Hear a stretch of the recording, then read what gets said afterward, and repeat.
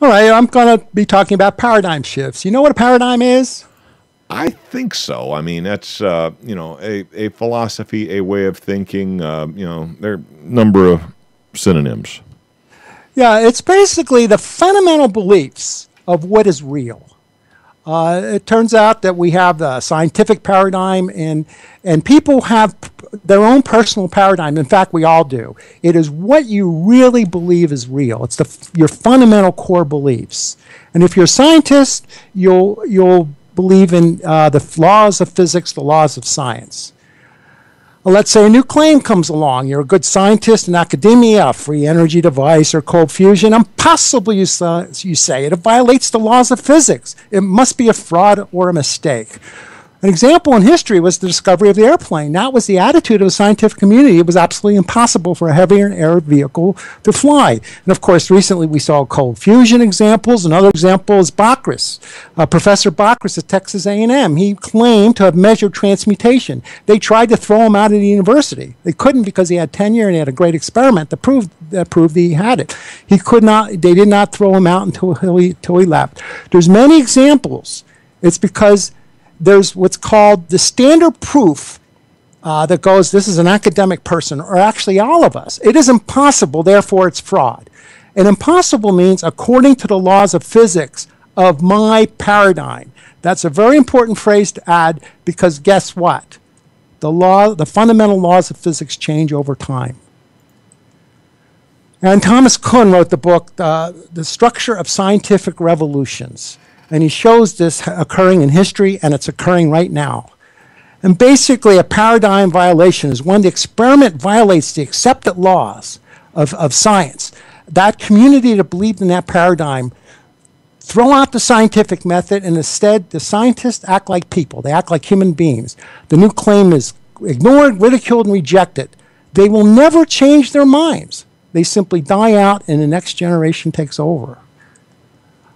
Uh, this is, becomes very relevant when you want to c- declare something a fraud. You see a, an experimental claim, uh, but there could be many facets of the frauds, and you'll see that how these facets can change as you recognize your own personal paradigm of what you truly believe is the laws of physics. Somebody could be running an intentional scam. I call that a type 1 fraud. Uh, could simply be a mistake in measurement. Uh, I'll call that type 2 fraud.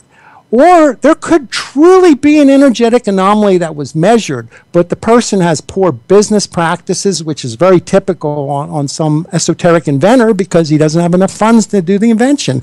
And there could be a wrong explanation. Well, of course, there's going to be a wrong explanation because when we have this energy anomaly, nobody's going to really understand where it's coming from. So these are, these are the facets. So it's important when you want to call somebody a fraud to qualify what type of fraud you mean? And the paradigms have changed over, over time. Classical physics is where we begin. I call this the golden age. Uh, just in the standard Newton's laws and Maxwell's equations, classical physics is, the, is really the paradigm that most engineers deal with. And that's what they believe in their hearts. And most inventors are, are the same way. Uh, along came relativity, then quantum mechanics, and quantum mechanics, the zero point energy came in into science. And now the, the, the paradigms are shifting right now. There's quantum gravity versus string brane theory as they try to combine it with quantum mechanics. And they're actually in, in the midst of a paradigm war right now. And what's starting to emerge from that paradigm war and that paradigm shift is the true existence of a fourth dimension of space. And as we explore that, we'll find out. Oh Lord, I was just getting used to ten dimensions, Moray.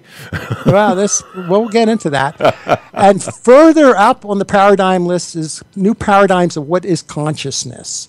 And notice that that someone at the earlier paradigm that believes in this starts to view somebody who believes in another paradigm as a kook.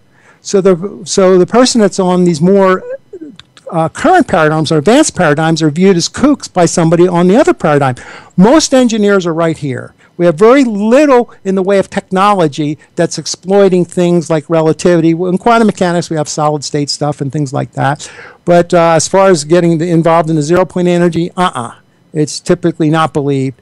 And, and what we'll find out is this is very different then where the physicists are out, advanced physicists that are discussing the, the advanced theories and, and, quantum gravity and string brane theory, they are off on a t- totally different paradigm that they truly, truly believe.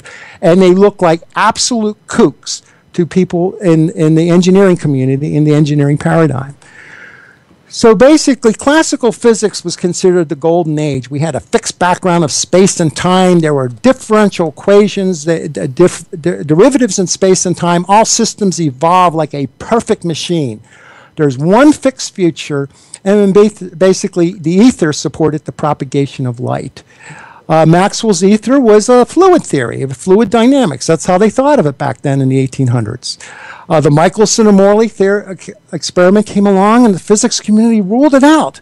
Said, "Look, the ether th- doesn't exist." That's uh, but they were trying to measure a static ether, not so fast. Dayton Miller, president of the American Physical Society, continued the experiments, working with Michelson to build an interferometer ten times more sensitive.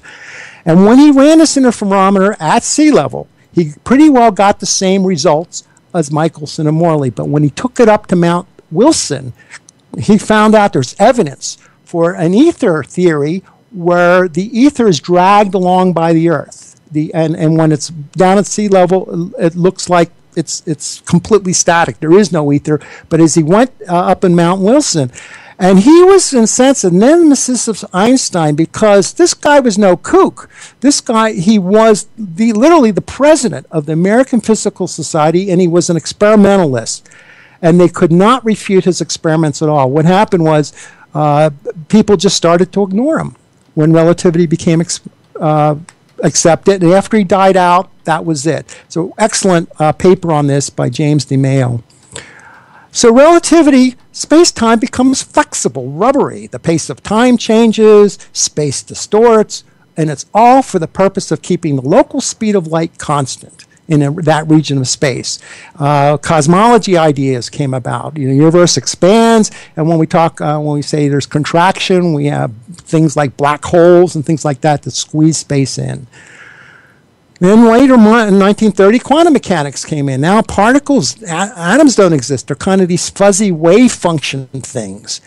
And later, uh, they started to recognize non-local connections and entanglement. Now, Einstein did not like this a bit. The famous paper in 1935, Einstein, Podolsky, and Rosen, they showed, look, this, this quantum theory is crazy. It implies that distant things are instantaneously connected somehow. Obviously, that can't be. That violates causality and the speed of light and everything else.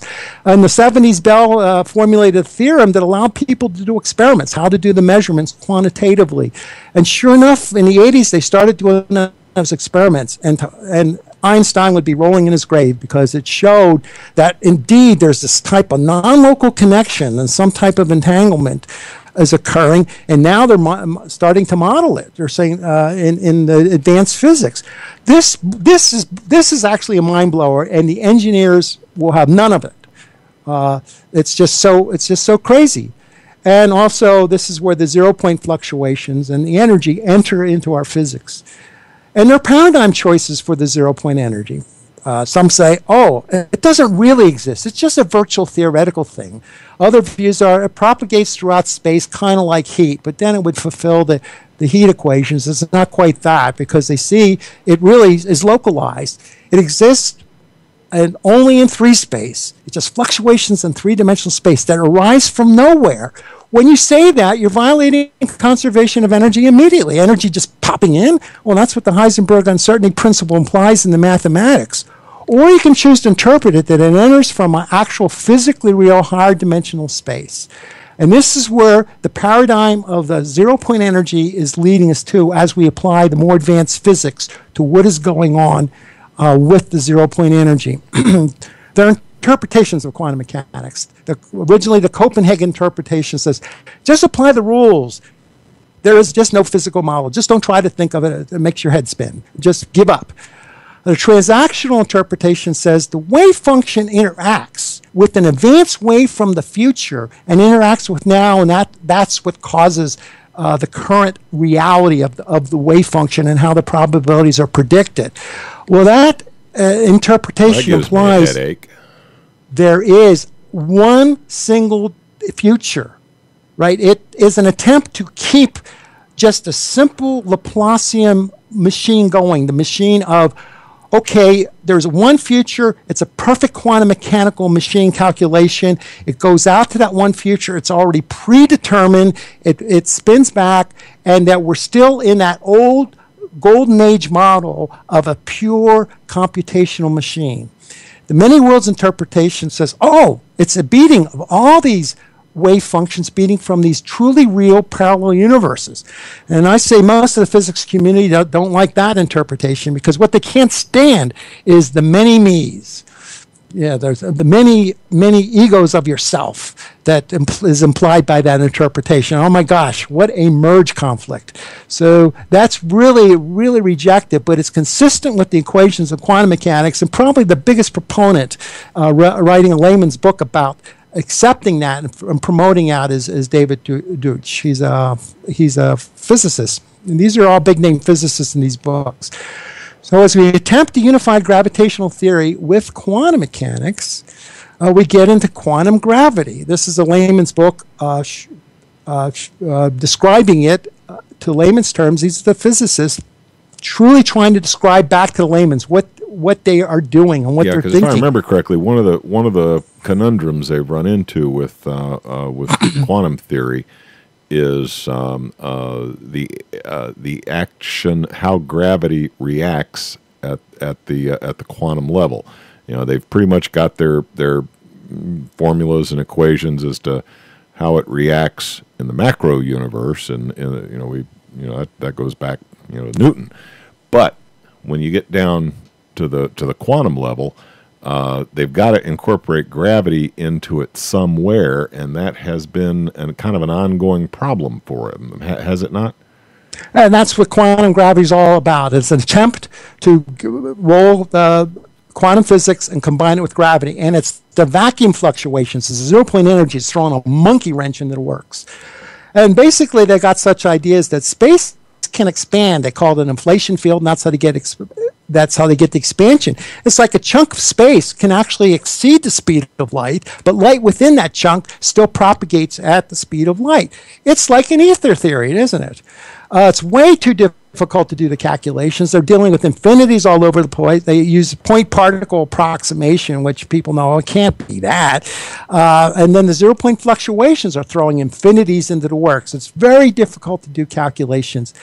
Uh, here's a model of a physically real vacuum fluctuation. It just pops in, it's, it's down at the Planck length, 20 orders of magnitude smaller than the elementary particle. And you see, this is like how, how it changes over time, and this is its size. It's, so, this is a description. The, the vacuum fluctuations are very, very real in this quantum gravity theory. And so it's popping in and leaving, popping in and leaving. And if you don't start to model where does it come from, you naturally have a philosophical violation of conservation of energy. So, string theory and brane theory are starting to win this paradigm war. The modeling uh, at the Planck length, they're going to use strings instead of point particles. But the fluctuations, the vacuum fluctuations themselves, are, are interacting with the strings, and they can make the strings extremely large, in fact, extremely large during the fluctuating process. And this blew my mind. I had no idea. Strings could all of a sudden fluctuate to a huge thing and still be a single quantum mechanical entity, a single particle, and then at the next quantum instant be, be smaller or be in a different form. And in order to make the theory work, they had to invoke higher dimensions. And at first they said, oh, the dimensions are curled up because, because we can't see them, so they must be curled up. But then they said, no, they can be large scale. And, and, and, and because our, maybe our wiring, our minds can't see them, but they could really be there. And so what they have is called parallel branes, parallel three dimensional spaces. And in the higher dimension, they call it the bulk. So you have parallel branes in, in the bulk. And the real criticism of string theory is that it's it's way too flexible. You can model any type of universe, but they just love the computational machine machinery of string theory. So you see the the quantum gravity people fighting a paradigm war with the, with the string theory people, and they call each other names and everything else. It's really it's really like they they they act like the way they treat each other like monkeys throwing crap at each other. I can't believe it that they mistreat each other so badly. Um, and because it They be really out there bitch slapping each other. yeah, it, it threatens their paradigm. It's it's this thing of if, if you're right, then I'm wrong, and I can't be wrong, right? I I, I got to know it all, and it's like this desire uh, to say I got to always be right, and and that's the source of the emotion uh, be- behind this because paradigm changes, a personal paradigm changes, an emotional event. And if you feel you're wrong, you committed yourself to this computational machinery and learning all this math. And every one of them up at this level are geniuses. And, and yet they have to fight with each other because of this need to be right, as opposed to learning from each other's point of view, right? That, so that's where we are on that paradigm war. And Lisa Randall wrote a great book. She's a Harvard professor of physics, totally secure in her, in her position, and she's willing to air some of the issues, the, some of the laundry and the problems that are going on in, in theoretics and, and, and, and, and talk about the problems. That's why I really appreciated this particular book. Uh, it was the only book I found that was really dwelling on the problems. Uh, the Black Hole War uh, this is Leonard Susskind. I was going to think, what is this thing? There's a, there's actually a paradigm crisis right now. It just came out last year uh, in in physics. It has to do with information of something of uh, um, losing information in quantum mechanics. And the problem is, if you don't track all the information, the underlying machinery of the quantum mechanical calculation uh, falls apart. It means that's not the bottom line of what's going on in physics. And, and Leonard Susskind explained the crisis the best in this particular book. And the theory, the real crisis came out last year. And this crisis has to do with, um, it's really Stephen Hawking started it way back in 1977, I believe it was. He, it's the vacuum energy itself, the vacuum fluctuations interacting with the event horizon on a black hole, right? And it makes a, what it happens there is you make a pair of particles. One pair falls in the event horizon, gets stuck in the black hole. The other pair comes out, and he called that uh, the Hawking radiation. And the issue was, and what the informational loss that recurs hey, if that thing goes in a black hole, hey, we lost the information. Like, so what? That's what Hawking's attitude was. After all, it's a black hole. Well, of course, you're going to lose the information if something falls in.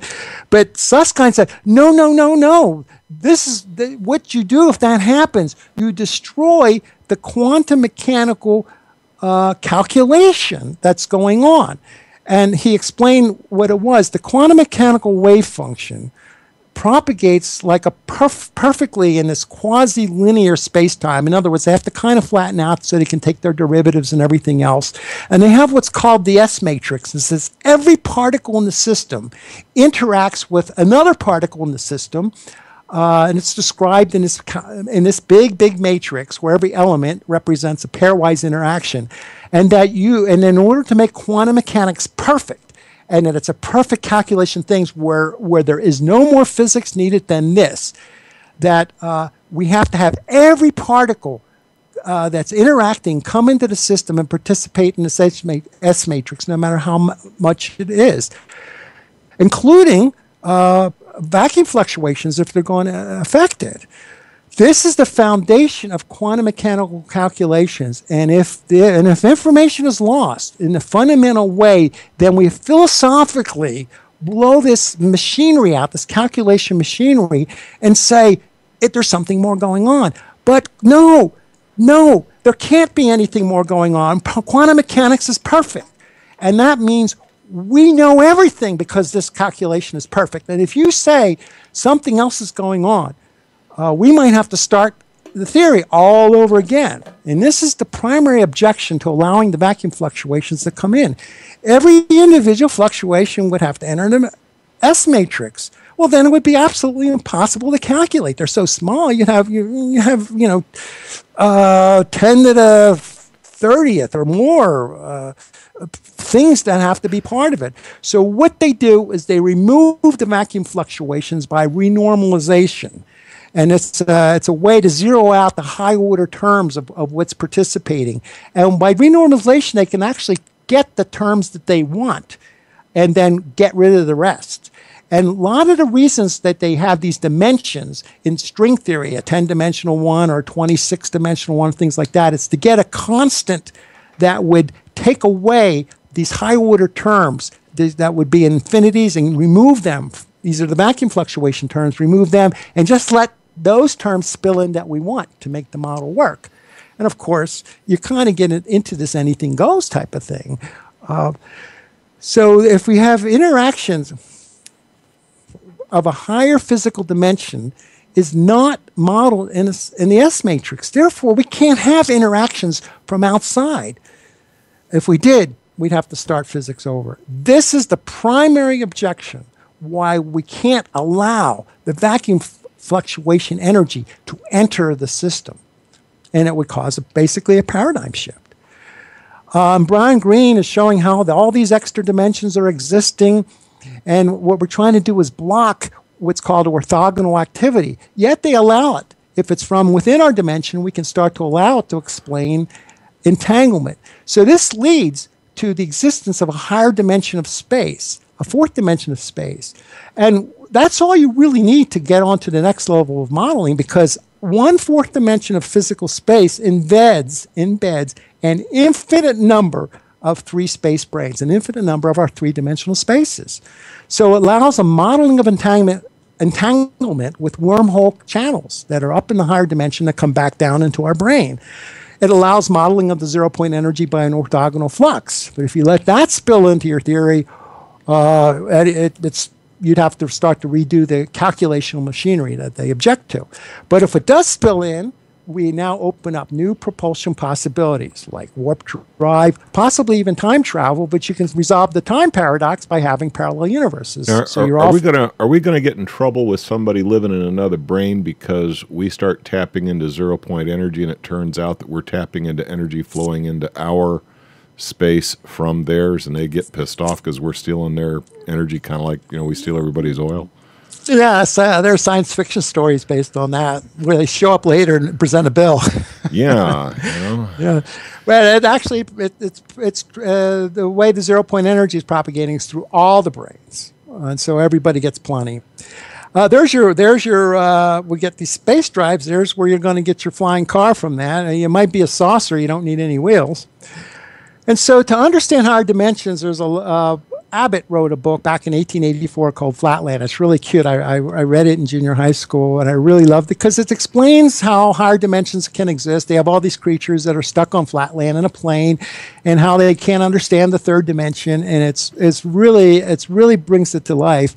And a recent book that I really was impressed with was uh, John Violette because he's trying to now apply these ideas uh, to explain uh, uh, consciousness and the nature of, of of time and how that interacts. And he cites Ouspensky, a Russian philosopher, uh, Tertium Organum, uh, which basically says that time itself is just our consciousness uh, only perceiving a higher dimension, a slice by slice. We are we're not wired to perceive the higher dimension all at once. So we can we're wired to receive the three dimensions of space, but the next dimension up we can only view one slice at a time. So time is really a consciousness slicing things up uh, to to uh, to absorb it.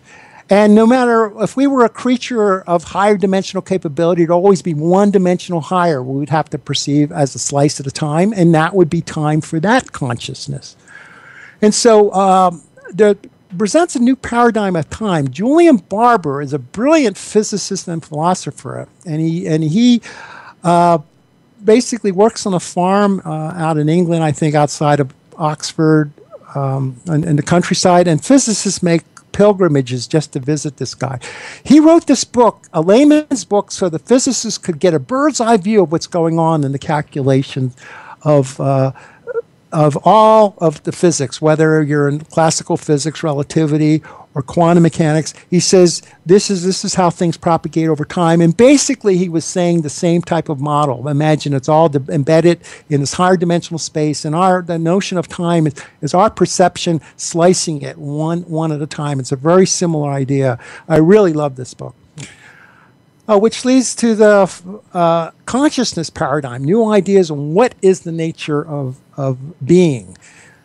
Uh, the, the new idea, you know, the, uh, the, the engineering paradigm or the, or the, or the machine paradigm says the brain is just a meat computer, a computer made out of meat. It's a mechanistic model. The, the, the uh, old paradigm says sentience is just an illusion, free will is just an illusion, everything is in Newton's laws, the future is predetermined.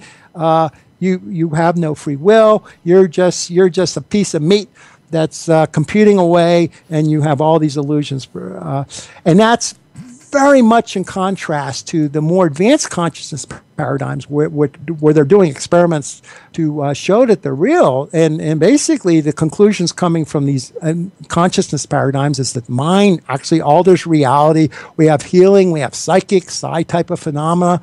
We, our minds can bias the wave function collapse. And then there's ideas like the group mind creates the reality. We, we're all participating in a group mind that we're not conscious of. Maybe if we meditate and get into this altered state, we start to become conscious enough, but we actually create a consensus reality. And what's interesting is there's actual experiments showing that these ideas are, are uh, might be true. In fact, I had a couple stories. I guess I could tell one. Uh, uh, Garret Moddel uh, at the Breakthrough Energy Conference, I had a chance to talk with him privately about some of he, he's repeating Dean John's experiments, uh, psychic experiments, and there's one very simplistic one that, that I really liked that that he described uh, where the, you you just put on the headphones and there's a noise source and you can bias it to, to, make the clicks either go in the left ear or go in the right ear, and then he found out most people can can, can make this bias occur from this noise source. And what they do, they can also uh, record the noise source on, on, on, on tape or, or somewhere and, and uh, just to prove that, yeah, when nobody's trying to bias, the, the equipment's completely unbiased. It's just random if nobody's in there trying to bias it. Well, if they take that recording and, and store it in the safe, and nobody has ever viewed it or listened to it, or, or uh, then somebody later could, could try to alter that and make it uh, go to the left or to the right. In other words, they they they they find out that if nobody uh, recorded it or measured it, that the person could still bias what's on that what's on that tape. So he's not really influencing the tape. What he's influencing is there's all these parallel universes, selecting from a parallel universe, and since the measurement hasn't been made, he can start to bias it one way or the other. So they could actually play the device back. The person thinks he's, he's biasing some noise source in real time, but what he's actually doing is uh, biasing this thing that hasn't been measured yet, but yet it was pre recorded. So this, this is a, an excellent excellent experiment that shows there's something really, really bizarre happening, and it has to do with consciousness. So not only do we have a free will in this model to, to help select from the probabilistic futures and bias things to go in that direction.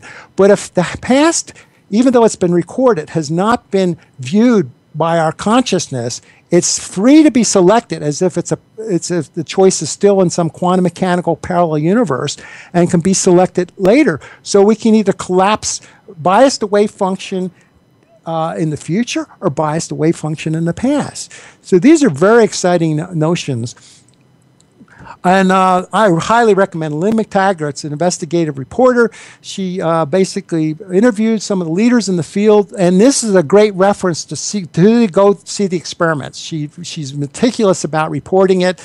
Uh, the half the, the book is references to go into the literature to find the actual experiments, showing that my gosh, our minds are something incredible and we're outside the engineering paradigm, the golden age paradigm. We're on to some new consciousness, quantum selection type paradigm. And this was a uh, book, uh, Paradigm Wars, that shows uh, the, how the paradigm wars are, are being fought out today. He wrote this back in the 90s, but he sure predicted ahead of what's going on uh, today. So this is of interest to, to us uh, people. Uh, we're looking for a new energy source. Can, can the zero point energy become an energy source? Well, to get a zero point energy coherence, we we have to have the system self-organized. We have the zero-point energy plus the theories of system self-organization. And a good example is pair production. Out of the vacuum pops an electron-positron pair. Well, that, those pairs are huge compared to individual vacuum fluctuations. So that's an incredible self-organization. And then we can get conglomerates, typically in plasmas, the charged clusters or ball lightning. And we'll see the cavitation bubbles may have something similar going on, or just vortex of plasmas. All can be coheres of the zero point energy. And so basically, the, the energetic vacuum uh, is arises essentially from the uncertainty principle, and they realize, gee, the, uh, the vacuum itself is a seizing churning, uh, fluctuating entity that can make self organize in these pairs of electrons and positrons. And notice that if we're allowed to have a violation, this is a violation of conservation of energy. If you, if you treat the vacuum fluctuations as non existent, then you can't explain this. They have to have them there as real uh, to make uh, quantum mechanics work. And there's plenty of support in the literature that the vacuum zero point energy can be the basis of the quantum effects, the stability of the hydrogen atom, where the interaction with the vacuum energy keeps the keeps the electron from collapsing into the nucleus. It's that interaction that makes this new state uh, that makes the atom uh, can become an energy source without violating thermodynamics. That's a very important paper politically. You can prove that no, for you're not violating physics if you say you're tapping it. It can be the source of gravity and it can be the source of inertia, and which means if you can control inertia, you can make gravitational propulsion, and that's where you can get your flying saucer propulsion idea. So that paper gives you your flying car if you want to fly fast. All right. And so there, the zero point energy basically can be modeled as a turbulent virtual plasma. They call it the quantum foam. Uh, those these little particles could be thought of as at, down at the Planck length, 10 to the minus 33rd centimeter. Electric flux enters and immediately leaves. Uh, through an adjacent hole. So this, this this turbulence, this chaos, is what the underlying form is. And when you ask, can self organization be triggered in this? At first, the answer seems to be no. Everything decays to randomness is chaotic. Random things must forever remain random. Uh, that's the w- that's the way uh, science works. Well, under certain conditions, self-organization may actually occur, and that uh, Nobel Prize was given to Ilya Prigogine for for this discovery and this insight. And those conditions are uh, the system must be nonlinear, be driven far from equilibrium, and have an energy flux through it or a matter flux through it. And it turns out the zero point energy can fulfill those conditions if this zero point energy flux is from the higher dimensional space.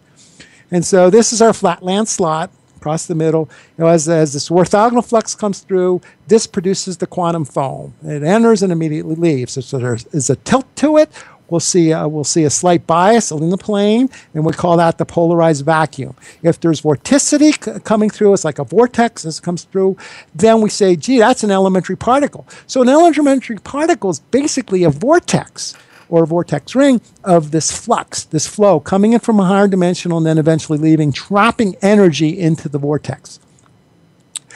Uh, Robert Laughlin is probably a, the leader for this paradigm that that things uh, everything emerges from self-organization of collectives so the uh, he is basically the third paradigm as far as what is the nature of, of the elementary particles it's not a string it's not a point but it's a collective a collective of these vacuum fluctuations participating in self-organization and i personally am firmly in his camp the problem is his camp is extremely unpopular because you cannot do simplistic calculations anymore the, uh, the, the calculation machinery has to start all over again, and and so this is ignored.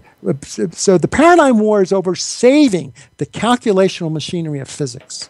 And they love their math and they love the calculation mach- algorithm machinery. And if his paradigm is accepted, we got to start all over again. And that is what is causing the primary resistance in the scientific community or physics community from accepting this notion. So basically, the, so thus we have to have an experiment. So the principles for cohering the zero point energy is work with a highly nonlinear system like a plasma, abruptly far, drive it far from equilibrium like an abrupt discharge, and maximize the zero point energy interaction using ions or, or and vortex forms. It turns out that the electrons in a circuit, just in copper wire, are essentially the electron cloud is in thermodynamic equilibrium with the zero point energy. No, it doesn't really, it can't really tap the energy for no gain. That's why in your typical circuits, you're not going to see uh, very many energy, energy anomalies. However, if we work with the nucleus, and abruptly move the nucleus, the vacuum polarization in physics literature describes steep lines of vacuum polarization converging. And if you abruptly move it, you can start to, uh, to bend some of this energy into our space. And here's what it looks like the zero point energy orthogonal flux comes, the abrupt motion of your plasma particles, the nuclei in particular, bends some of that zero point energy flux in, into our space, and it manifests as extra voltage or extra potential in the system. That's, that's how we get the extra energy uh, from ion motion. Uh, they see it, they call them. Uh, exotic coherent vacuum states in quantum electrodynamics arising from heavy ion collisions. They see it in the experiments working with ions. When they oscillate ions in synchronization, they call it the plasma ion acoustic mode. They see huge energy anomalies manifesting these energy anomalies, and they typically are associated with triggering some self organizational modes in the plasmas. They have large radiant, radiant energy spikes, high, high frequency, runaway electrons, anomalous heating in the plasma. And the nature of this self organized mode is a vortex ring. Uh, it uh, gets us into the plas- uh, ball lightning plasmoids. It's, a vortex ring is like a slinky closed on itself. Here's the nature of the flow, uh, flow in the vortex ring filament. And this is the archetype entity that seems to be cohering the ener- zero point energy and trapping it. So we get it from abrupt discharges and plasmas. And so here we have we have these energetic torus form. It's a recurring archetype for self organization at all scales. So if we do pair production, electron positron pair production is, is actually a zero point energy coherence. And they started out as, as just popped in as a pair together. And so what they're now modeling is entanglement between these pairs that they are connected by a wormhole. This is the type of, uh, and Susskind is kind of leading the charge because it allows these things to stay connected.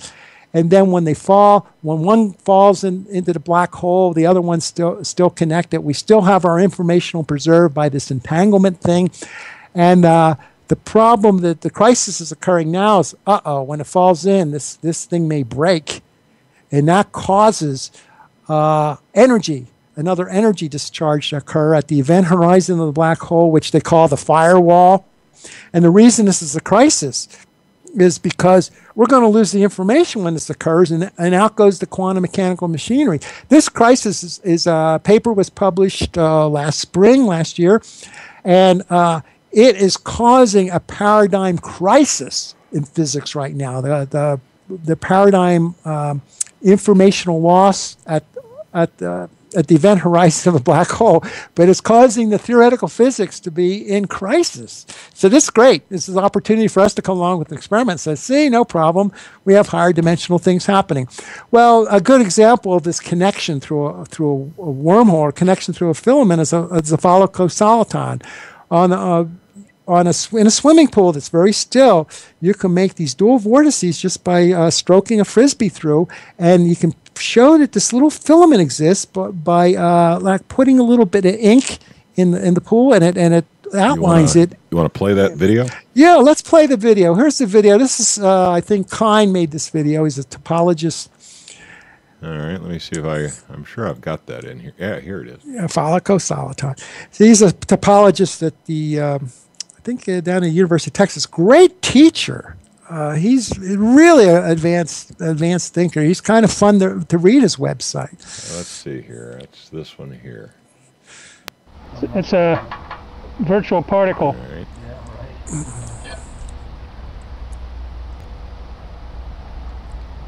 I hope this is coming through clear. On the, yeah, uh, it should. It should. Um, they have uh, this one has sound on it.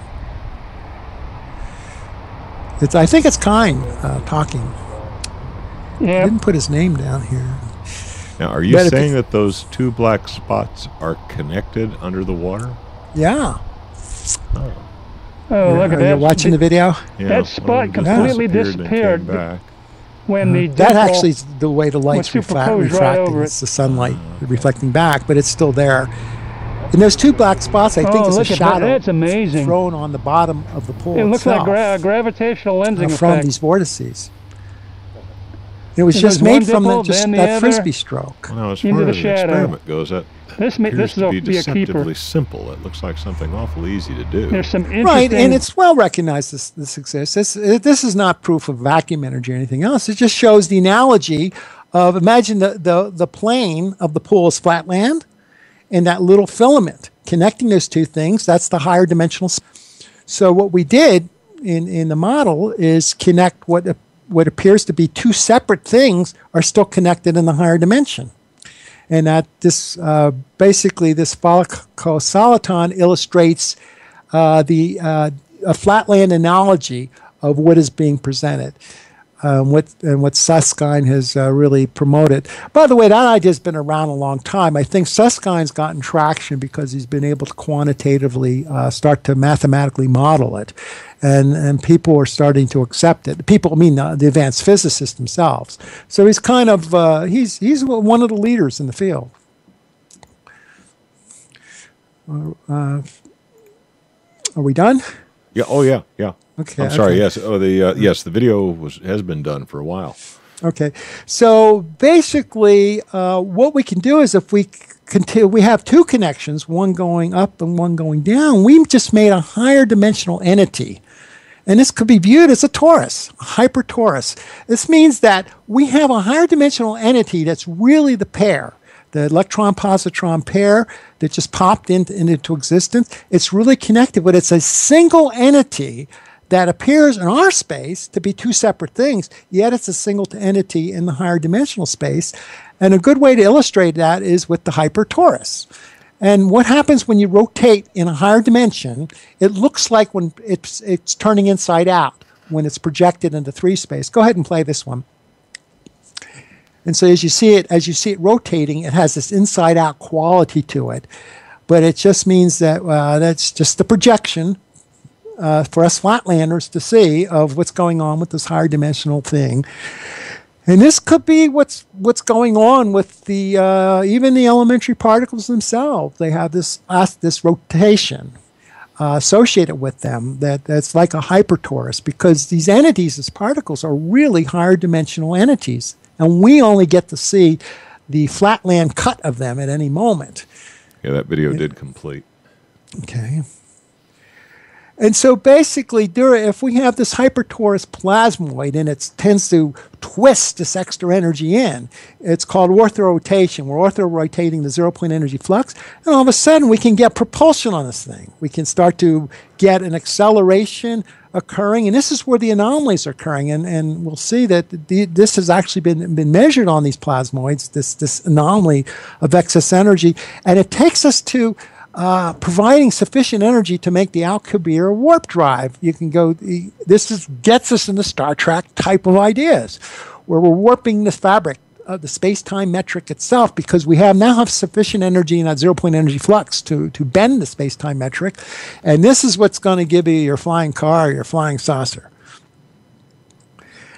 And so basically, we could take a symmetrical high energy matter torus, give it an abrupt, abrupt discharge, uh, get it into a plasmoid form, and that plasmoid form would start to rotate the zero point energy flux, uh, offer anomalous propulsion, offer anomalous energy in the way of a high voltage spike when this thing collapses back down from the plasmoid. And so basically, the plasmoid itself is gets its energy actively from the zero by pumping that zero point energy and orth rotating it. So during the time we're in the matter mode, even if it's in a high energy state, nothing special is going to happen. We don't got a whole lot of energy, just a high energy state. It's when it's in this form, the plasmoid form, that's when the big energy spills into the system. That's when the big anomalies occur. So we're trying to get to those plasmoids, and that's our experiment. If we can make these entities, these plasmoid entities, then we are observing huge, huge energy anomalies, over the top anomalies.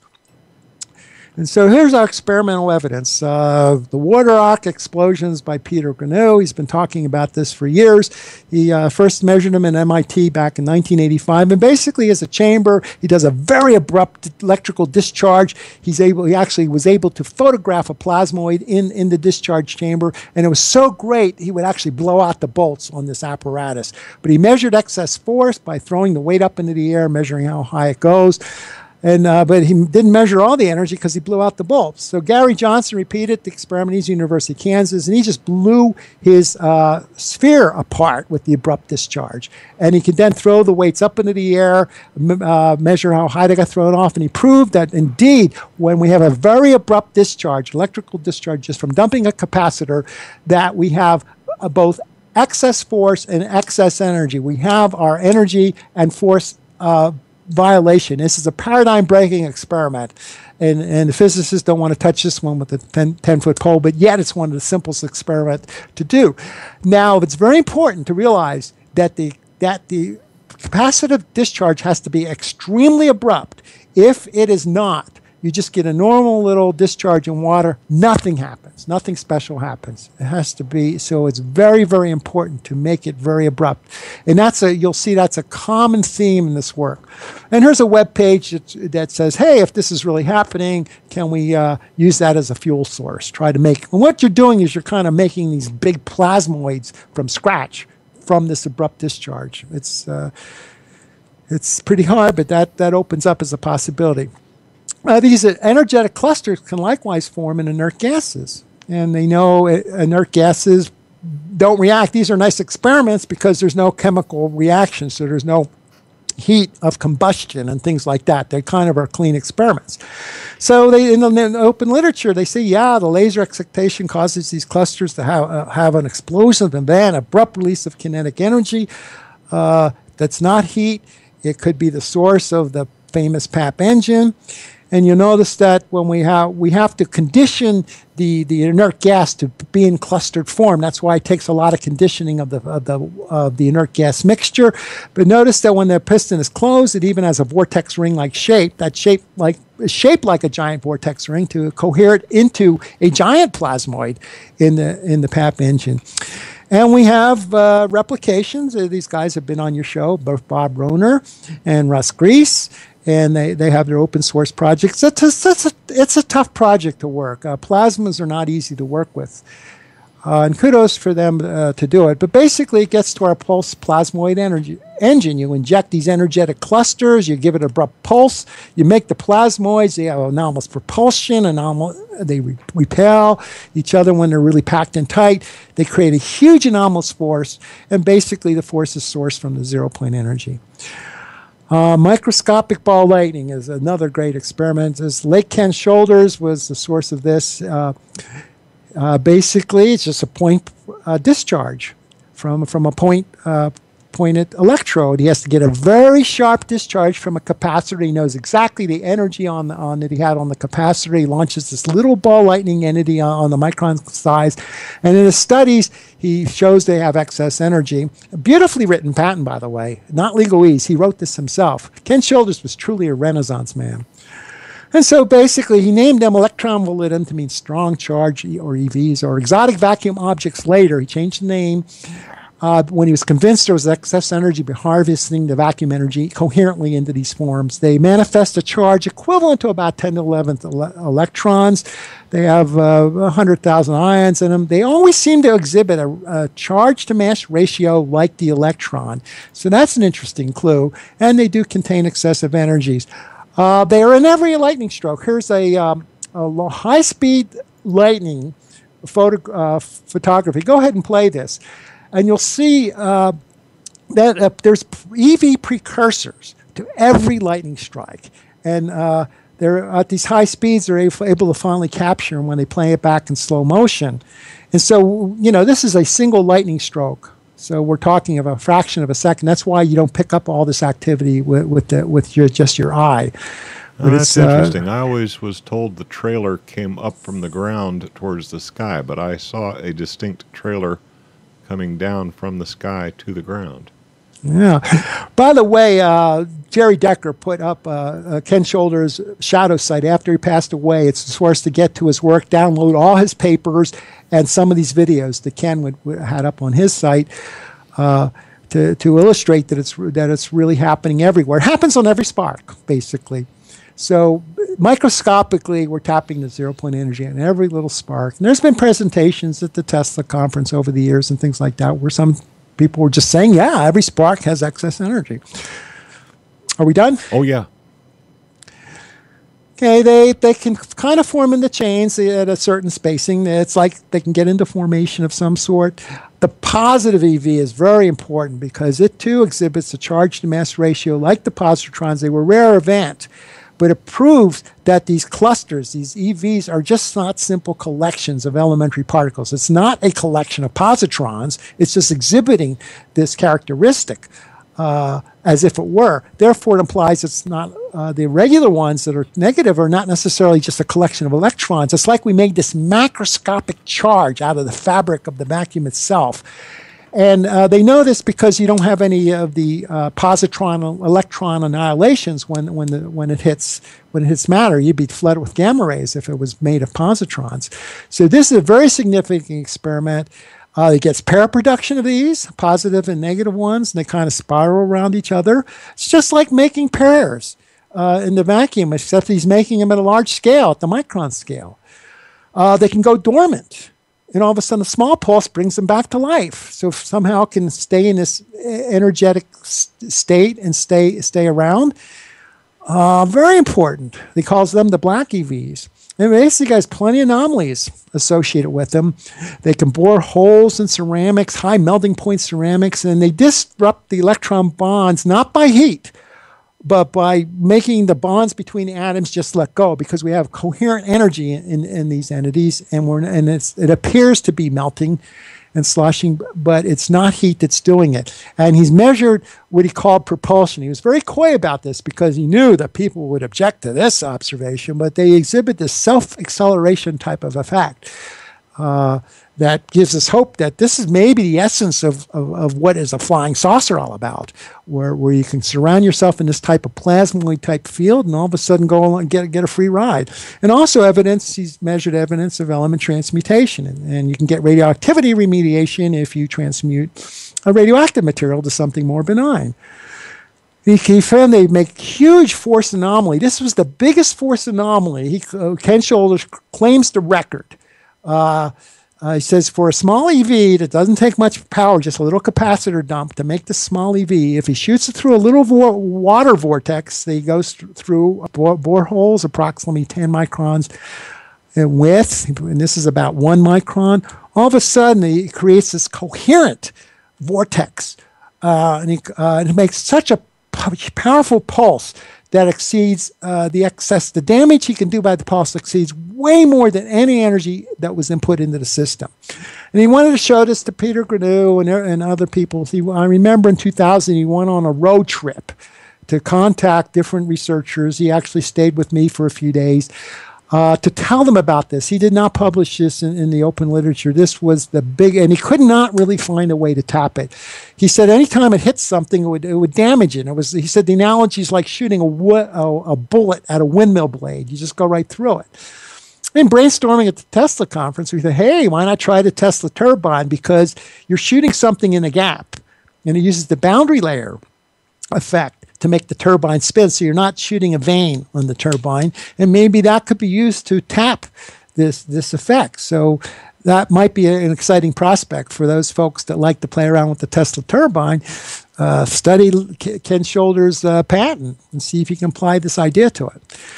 So the point of element transmutation, a different topic, is not so much to make a practical oh a de- device. It is because element transmutation itself is a paradigm changing experiment. If that repeats, something new in physics is, is going on. And that's really the point of the, these type of experiments. Ken Shoulders uh, showed that EV strikes will create nucleosynthesis. He gets all these new elements across the periodic table. He was politely ignored. I think he gave the presentation at the cold, 10th Cold Fusion Conference. Uh, and so not much happening in the United States uh, because it's a paradigm shifter.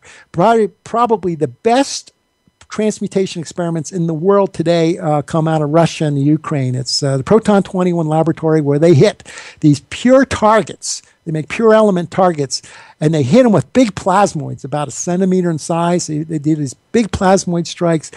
You know, blows the heck out of the target, and they get nucleosynthesis elements all over the periodic table in, in this thing. And the West completely ignores these experiments.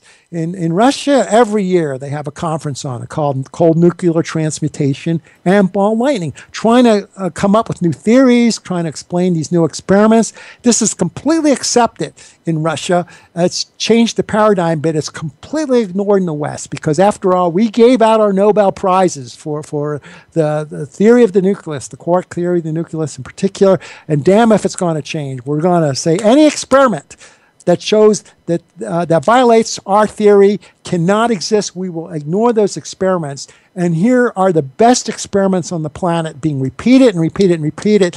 Those professors in Russia are paid salaries to do research projects to try to explain. They come up with new theories of the of the nucleus, trying to explain this effect. Because nucleosynthesis is a real, real anomaly to have all of a sudden transmutation all across the periodic table, not just maybe moving it one one atom over in the periodic table. We're all over the place here. So we're onto a new, new paradigm. And the Russians have jumped on board, and the United States in particular, but mainly Western science, completely ignores it. Because, and we understand why. Because paradigm shifts are too disturbing emotionally. Uh, they will ignore any experiment that, that shows it is occurring. And that's just where uh, the nature of, of science and the nature of paradigm wars and paradigm shifts. And of course, just uh, in 2012, Mark LeClair came out with his announcement that he could do it in water, with water cavitation. And basically, we presented this before, uh, and Mark LeClair presented the Global Energy Conference. It's quite a simple setup. He has aluminum veneer. He, he, he uh, puts in a chamber. Here is assembled. We have a cavitating pump. We, we create, create, create a lot of cavitation right here. And then we look uh, he has to starve the pump and be right on the threshold of priming the pump. So just go almost out of prime. That's a diff, that's kind of a tough place to hit. He's constantly adjusting his valve and he was sitting too close to the apparatus.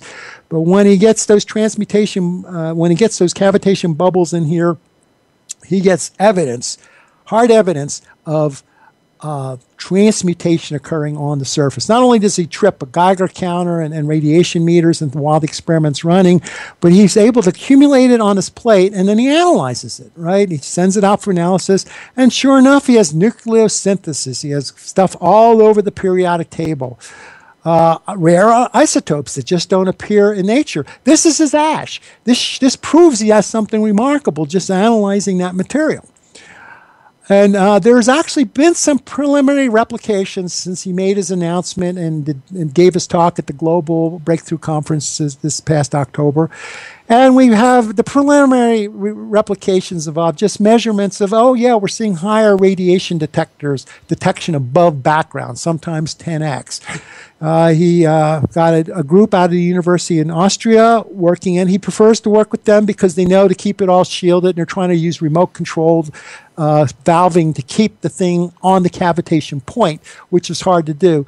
On, on uh, we have a comment by Dog One uh, in the Revolution Green site, Mark Dansie's site, that was uh, discussing these issues, showing his somewhat success of, of getting higher radiation levels. And he chose to abandon it because he's not equipped to protect, protect himself from the experiment. And I have a very interesting blog uh, that's keeping current by uh, David Zwig, and here's his his link where there's all sorts of discussions, and you'll see the conservative scientists chiming in. It can't be. It can't be. It violates the laws of physics. But now we know why. We know why they're saying that. We know what what paradigm they're stuck on. So it's very important when somebody says it violates the laws of physics to say which paradigm are you on? And understanding that gives you understanding of where that person's at, as, as opposed to having arguments. If you're on a different paradigm from him, at least you can understand where he's coming from. How can cavitation cause nuclear synthesis? As Mark LeClair theory. They measure, sure enough, when uh, the cavitation bubble's near a surface, it f- dimples up and forms the reentrant jet, which shoots through the bubble, the high pressures of this reentrant jet, this collapsing bubble, all the energy of that collapse gets concentrated into just the jet itself, the reentrant jet, where extreme pressures are occurring. Now, now the width is here on the nanometer type of scale. those extreme pressures put the water into a solid state form. And at the tip of the solid state is something that Mark called the plasma bow shock. And I recognize it's just like Shoulders EVOs. Everything you're describing, the way it carves trenches and everything else, I, I immediately put him in touch with, with uh, Ken Shoulders to say, you've stumbled across an easier way to do it. Uh, that's the same type of phenomenon occurring at the tip of his, of his water crystal. Uh, basically, we have a, a, linear axis down the water. Here's Mark LeClair's diagram of it. Down the, there's a linear axis of, uh, of water, and then uh, we have hydrogen bond building up the crystal um, across it. So this is kind of the form of a solid state crystal. And we have a little bit of preliminary evidence from Chris Eckman's study of Brown's gas to say, gee, we're seeing this little bit of preliminary evidence. There might be this linear form of water involved uh, in it. And he realizes that can't be stable unless it's participating in a cluster where, where there's other uh, atoms around it. And it, uh, the stable state is like Rydberg matter, where the electrons are up at this high energy d orbitals, is what they call it. And you can read about Rydberg matter on, on Wiki. So basically, we have a form that's somewhat quasi stable where the electrons are actually up at a higher energy level as long as it's participating in some type of cluster form. And the way we can get that cluster form is uh, taking observations that sometimes these linear these water crystals can form into a loop either connecting the head or tail or in collisions with each other they can actually become loops. And these loops are now the linear chain they close on themselves and they could be stable when they're under a half a micron. And so if we put the d orbital electrons in and we then have the various hydrogen, the protons, hydrogen ions, uh, kind of attached to it in the cluster, we get the model for a seed of the water cluster itself. And it's a torus form that's in high energy. Uh, and this is, is the uh, form that we are uh, suggesting for the hypothesized water glass cluster that, that occurs in Brown's gas, this, the secondary gas that I've been talking about in my lectures. And basically, when we take this particle and subject it to a spark, it turns directly into a plasmoid. As the electron collapse down in symmetrical fashion, we made the plasmoid. And thus, we have our plasmoid coming from a fog, a water gas cluster entity. And so basically, the EVOs of charged clusters and the charged water gas clusters exhibit the same anomalies to explain Brown's gas. In particular, it's a cool flame, it's not hot yet, it can sublimate tungsten. It's just like EVs can do that. It's not heat that's doing it.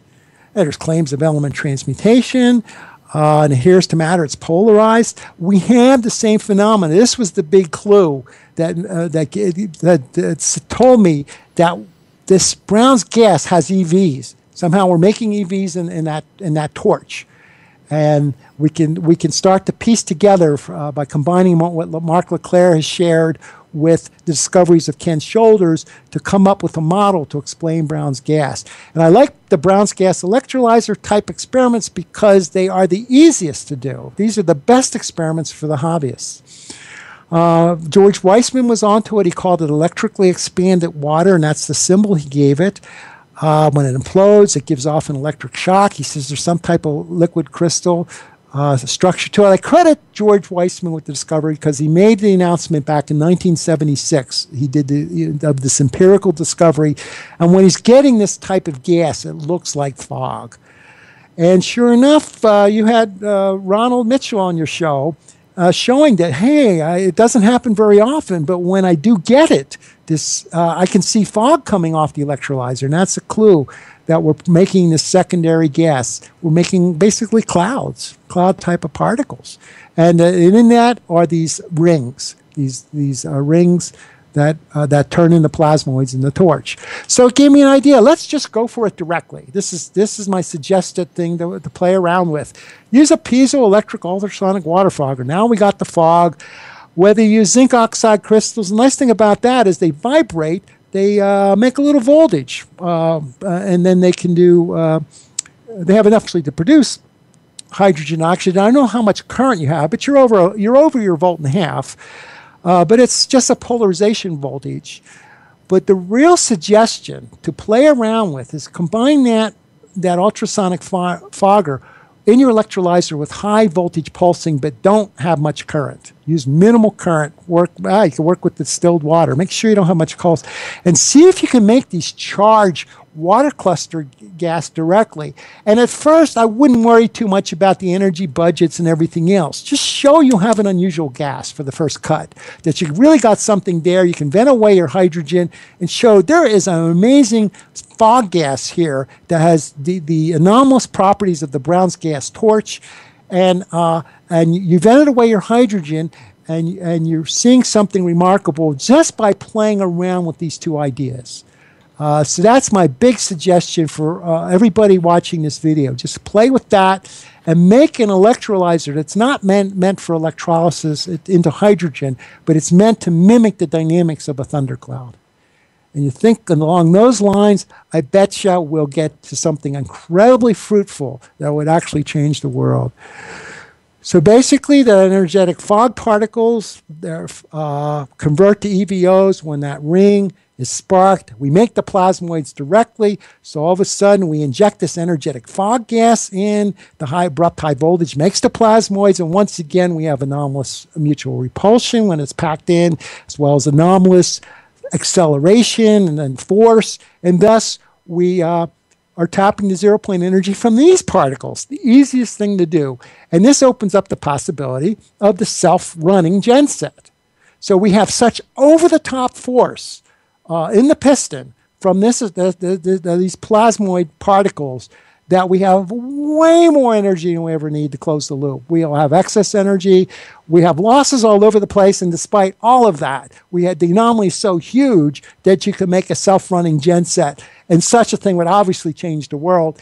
And the beauty of this is if we can make that, those fog gas electrolyzers and repeat it on these open source projects. We punched through the, the repeating experiment. We made the easiest to make uh, zero point energy device for all garage guys to make it. All we need to do is play around with those two ideas to get there.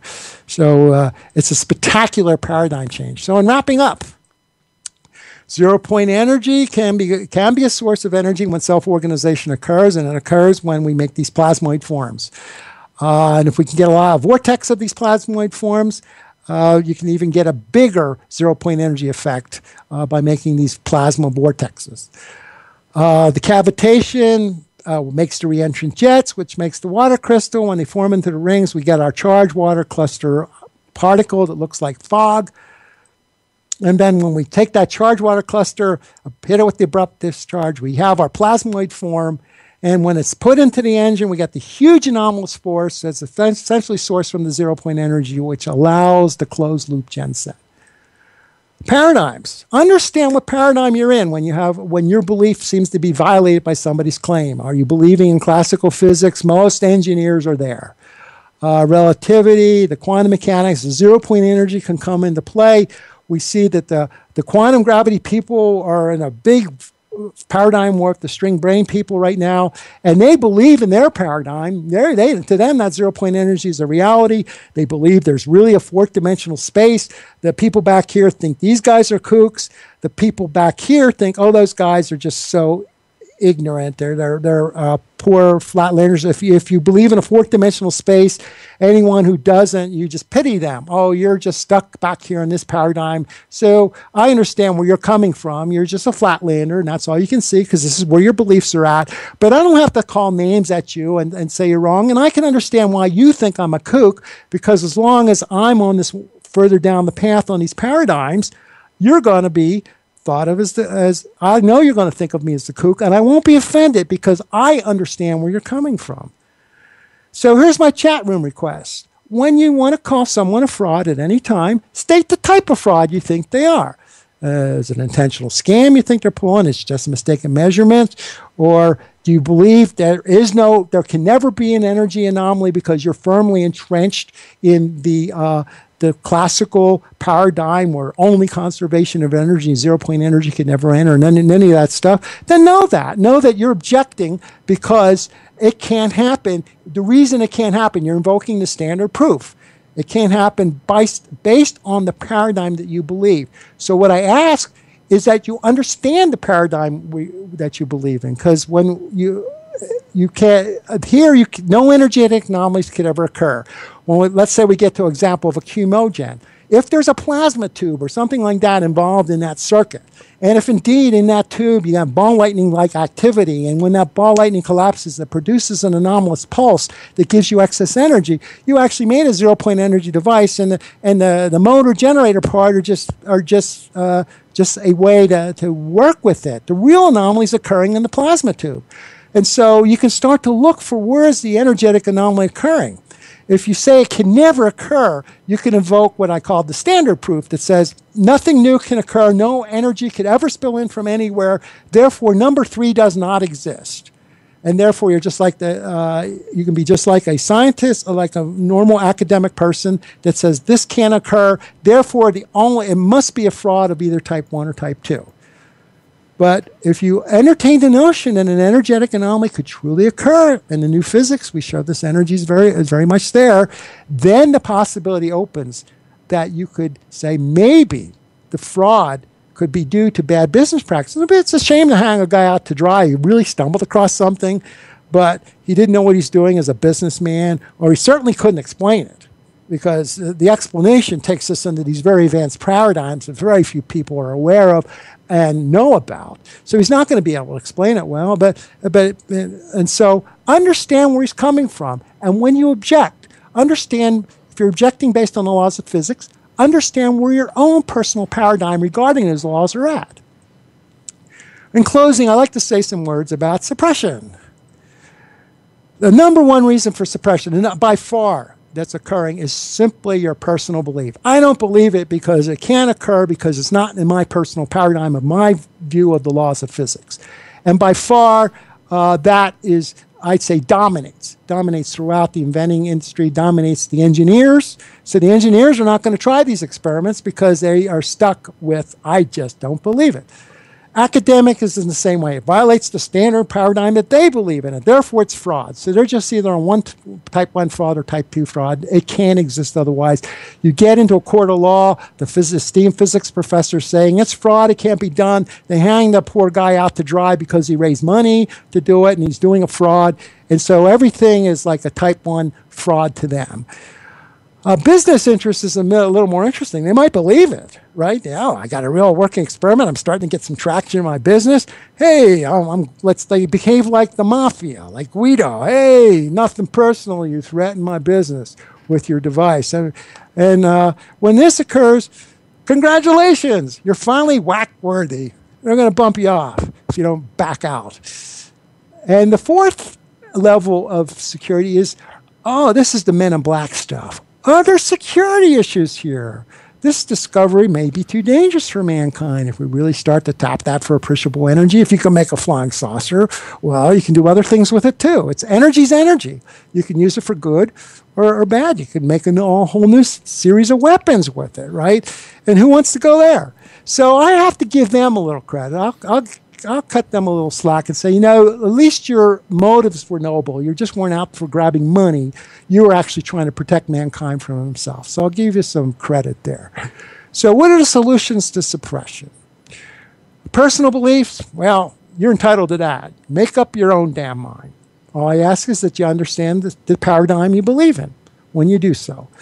Academic, well, all I can do is just poor, pity the poor flatlanders. They're just stuck in that paradigm. I understand where they're coming from, and they're just stuck in that paradigm. So you're not going to get mad at them. You can understand where they're coming from. On business, the way we can uh, deal with that is just the open source projects. Just all the knowledge is distributed, distributed, all the projects, and that's where that's where our, our viewing audience is going to change the world because when they go open source, it's everywhere. The business uh, hitman can't knock off everybody. It's just an information war at that point. Security issues, I'd respect that as they're looking out for mankind. And I'm afraid that the solution here involves consciousness transformation. Now, the nature. I think, I think, most of the business, uh, you know, most of the security issues that uh, uh, they they protect are the business issues. You know, the, I think the men in black work for General Electric and Westinghouse, but that's neither here nor there. You know, I've, I've made up my own damn mind on that one. Right, and you uh, you're out a lot of donuts because of it. That's right. so, so, this takes us into the consciousness transformation. Uh, there, there, there's evidence, and I'll just jump to the realizations that what the what the consciousness transformation movement's all about. Uh, you can read all, all about. There's plenty of information on the web and books and in Lynne McTaggart's book, The Experiments, to show this type of thing. And I'll jump to the conclusions of where this will lead. The first realization is that we are spirit beings having a physical experience. There is no death, consciousness goes on. Our minds are linked as a group being. We actually are literally each other. And there's help on this transformation top side. Any support in the chat room for this last one? Help top side. What does that mean to you? What do you think, Gary? What's top side mean? Uh, from that next brain up the ladder. yeah, it could be. There's entities helping right? Whether they're spirit and channeling or whether we have UFO contacts. Uh, look at the CSETI stuff on Steven Greer's site, right? Lots of people claiming that. It's, it's all over the place on, on, the web. There, uh, and that's where the paradigm shift. Uh, we may not even need help if we start to shift right, and get into this consciousness transformation and realize these things, it may be easier for other people to shift as well. Notice the paradigm shift is personal. There is actually when, when you shift from one paradigm to another, you actually feel a emotional change in yourself. Uh, because paradigms are very entrenched to the nature of reality. And when you it's that truly hundred believe, monkey scenario. This just makes it easier for others to shift. But don't be scared about it. And uh, this this says, gee, this these other paradigms might really be true. That's all we're asking. They might be true, as opposed to saying, nope, it can't be. I'm stuck in the, the, the golden age. I'm stuck in the standard engineering classical paradigm, so none of this other stuff could be true. But if all you have to do is say, no, these paradigms are out there. They could possibly be true. That could be another point of view. That's all you really need to be open minded to say maybe. That's, that's all we ask. If you can get into maybe as opposed to absolutely not, number one, you will understand the other person and you understand where they're coming from. And you'll be able to uh, uh, uh, empathize with. You don't have to argue with them or call them names, right? You're not threatened anymore. You say, yeah, they're coming from that paradigm. I, I believe in this one, but I, I'm not objecting any, anymore to, to all these other things. So basically, when you shift your paradigm, you change the world. Literally, you're changing, that group mind is changing. So basically, shift happens. Enjoy the ride. Thank you. How we do on time? Uh, we ran a little bit long, but not too bad. Let me see here. If you if you were um, if you need a stopwatch on it, the presentation ran. Uh, let's see, one hour and uh, one hour and fifteen minutes. Not counting our setup time, huh? Not Just counting all the setup time. Yep. Counting the setup time. Not counting the setup time. Okay, good. And basically, there's my books uh, you can get them from Adventure Unlimited Press. And here's the the T. Henry Moray book. His lad, the inventor's last name matched my first name out here in Utah in the 1920s. And we got a, these slides are available for download. I don't know if Sterling put it up on on this site right here, but that's where I've been accumulating all my PowerPoint presentations. I imagine Sterling will eventually get it up there. And you have the link on uh, up already. Yeah, as a matter of fact, um, I I posted the uh, the PowerPoint presentation uh, to the smartscarecrow.com site, and it is downloadable from the blog entry for for this program. So if you find the blog entry for January twenty third, two thousand fourteen, uh, you will find an embedded copy of the YouTube video that I'm recording, as well as uh, a link to Moray's uh, PowerPoint presentation. Okay. All right, to the audience. Looks like uh, looks like we managed to keep a few. We went a little bit long, and I'm afraid we uh, we chased a few along, a uh, few out uh, with with the length of the program, but that happens sometimes. Uh, we do have 36 active in the chat room. Looks like uh, we got a grand total of about 90 watching, but apparently only 36 of them are interested in chatting. To the chat room, we had a, a fairly involved presentation from Moray. Anybody out there uh, got any questions they want to toss at him? Let's see here. Uh, somebody out here named Avacron is asking if uh, if you've ever talked shop with a fellow named Edward Lewis. Oh, yeah. Um, I'm, I'm, certainly I'm trying to get into a personal conversation with him uh, and gift him my books. He was on a couple weeks ago. Okay. For you, and and ironically enough, he was also trying to talk about paradigm shifts, right? The, the paradigm of the plasmoid or of the ball lightning, and uh, essentially we're on the same page because that's that's what I'm saying. It's going to tap the vacuum energy for you. All righty, let's see here. Uh, uh, somebody here talking Star Trek. I'm not sure what that's all about, but that's okay. He wants a warp drive. Oh, he's looking for a warp drive. Well, yeah, I, I wouldn't mind having one of them myself. You know, I'd like to go visit those darn anal probing gray space aliens and kick a couple of alien butts. Uh, I don't uh, think they're. Uh, you got it mixed up. The TSA's the anal probing ones because they're looking for a bomb up your butt. Uh, with the with the grays one is your your genetic material. Oh, they're okay. cloning to stay alive. I tell you, I can't keep my aliens. I can't keep them track of them all. Let's see. Uh, tell Moray to be on the lookout for another strange, wonderful email from me on a few points. Okay, this is DC Tray Bill. DC Tray Bill is telling you to be on the lookout for another strange, wonderful email from him. Looking forward to it. Let's see here. Moray, have you seen this patent uh, high voltage input? Oh my goodness.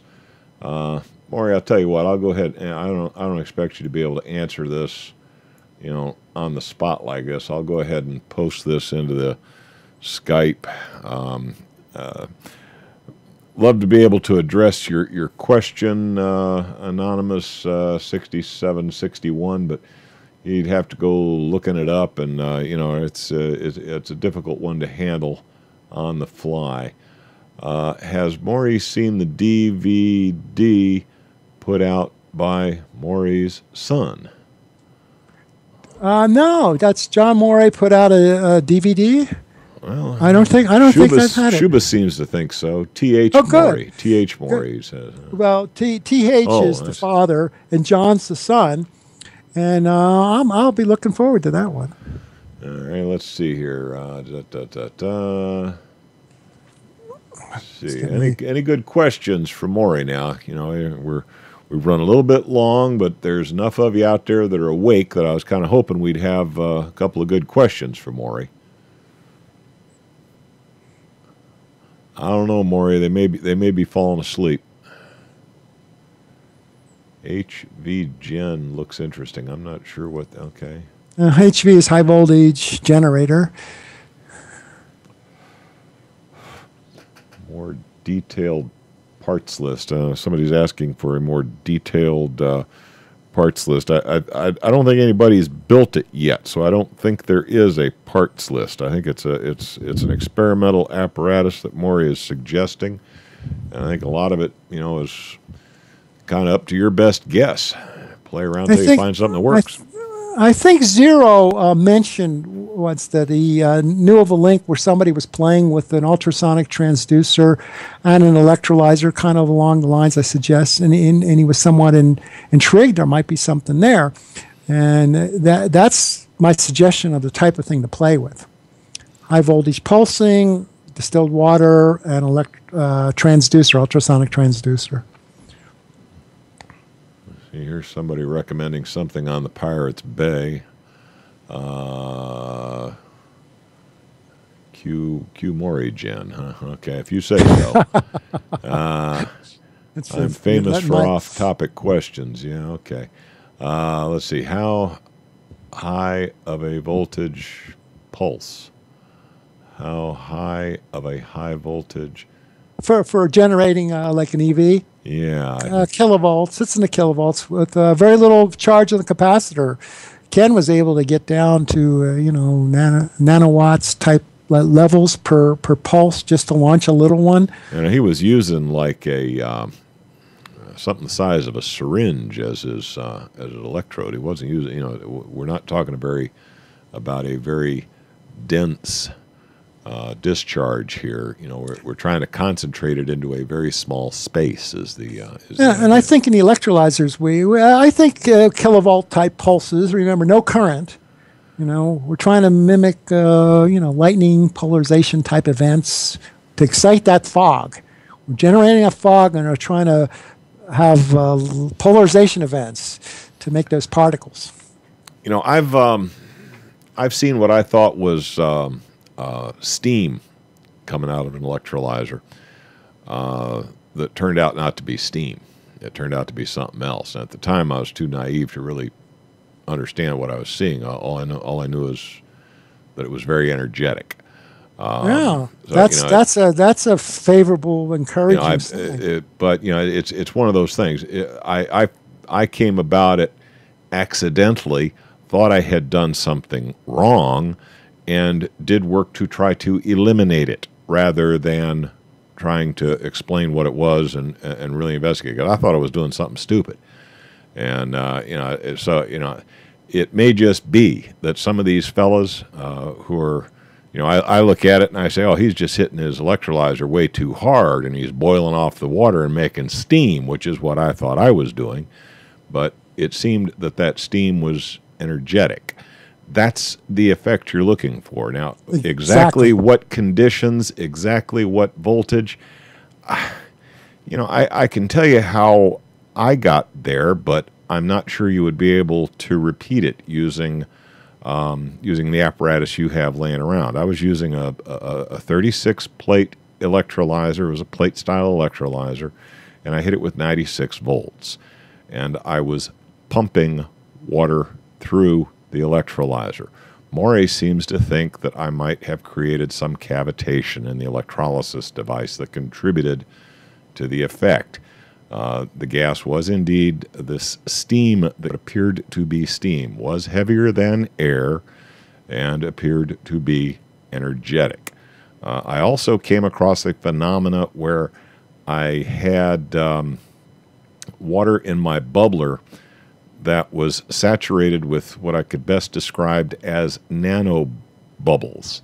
There were bubbles in the water that remained suspended in the water and would not come out. I mean, uh, we're talking about, you know, a bubbler that turned cloudy uh, with little microscopic bubbles in there. And even after letting that water sit undisturbed for 10, 15 minutes. I'd come back and it was still cloudy. It still had bubbles in suspension. It took an hour or more for those bubbles to finally settle down to where I could see through the water again. So, you know, some of these effects, you know, when I experienced these things, my initial reaction was, holy cow, I've really screwed up here. I've done something wrong. And uh, I, I worked hard to try to eliminate those effects. It may have been that I was premature, that I should have looked more carefully at it. Don't know. Let me, com- let me comment. What if you took that bubble that bubble I tried water, to ignite the, the bubble saturated water and it wouldn't ignite.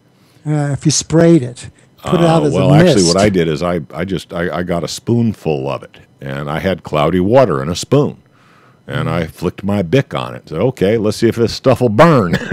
and or it hit did. it with a high voltage pulse. Now, yeah, now see, I wasn't I wasn't sharp enough out. to think about the high voltage pulse. If I'd have thought about the high voltage pulse, I might have been onto something.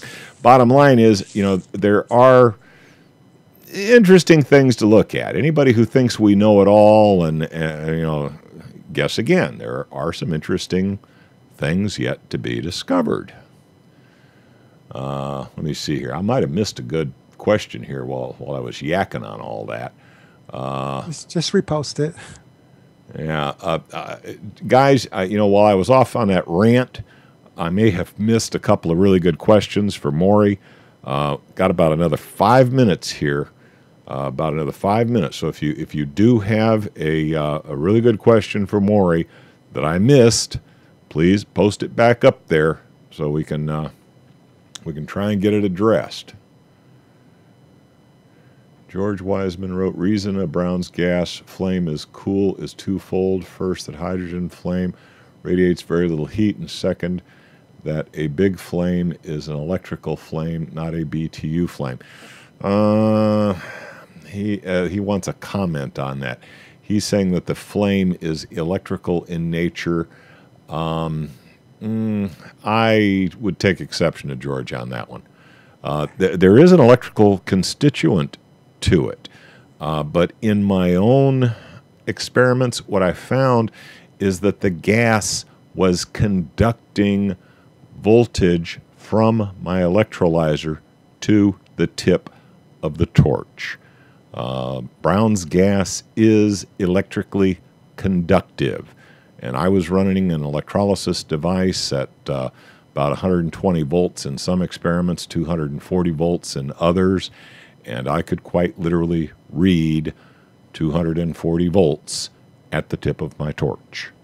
So I. The, uh, go ahead. I, I, could comment. Uh, the uh, one interesting observation is take take this fog gas and, and um, get it separated from the torch, and then have an implosion event, and then there's a shock that comes off of it, like, very much like a big electrostatic shock. This is something George has observed, and I think that's where he's coming from when he talks about electrically expanded water, where I, I believe his his model of electrically expanded water, and my suggestion of of these clusters uh, are effectively we're groping at the same model. We're, we're, we're, I, I, think we're trying to say the same thing. We just don't have the details proven yet, exactly what it is. That's why I really like Chris Eckman's initiative, because they were, he was trying to study it in the chem lab.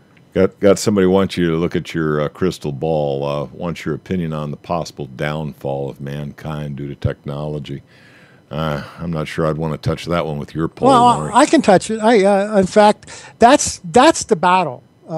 The solution is the, the, the consciousness transformation paradigm where we're not going to take our new discoveries and just make a big club and whack each other. It doesn't look good right now, as you know uh, from your rants, right? You never you're never hurting for material on misbehavior of humanity whatsoever. You know, I don't even and look so, at the news. I don't even look at the news until about an hour and a half before I'm going to do my show, and there is always a wealth of material to choose from. Absolutely.